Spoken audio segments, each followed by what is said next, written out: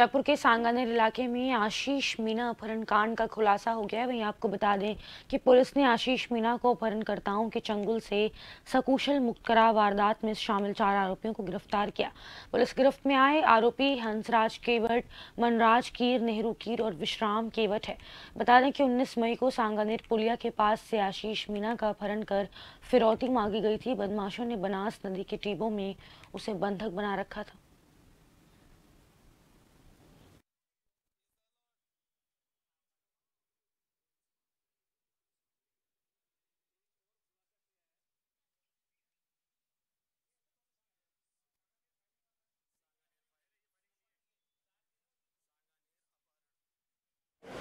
बनास नदी के खाड़ों में उसको रखा ताकि वहाँ मोबाइल की कनेक्टिविटी नहीं हो।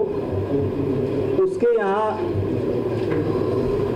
घर वालों को, परिवारजनों को बनास नदी पे रोड पे आके व्हाट्सएप कॉल पे पाँच लाख रुपए मांगने की रोती थी।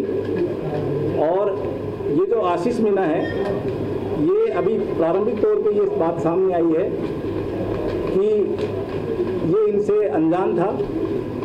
लेकिन इनके कुछ जो उठा के ले जाने वालों से कुछ इसके जानकारी पहले से थी तो आशीष को बरामद किया पुलिस ने। साथ में इसमें चार अभियुक्तों को तीन सौ पैंसठ अपहरण की धारा के अंदर गिरफ़्तार किया गया।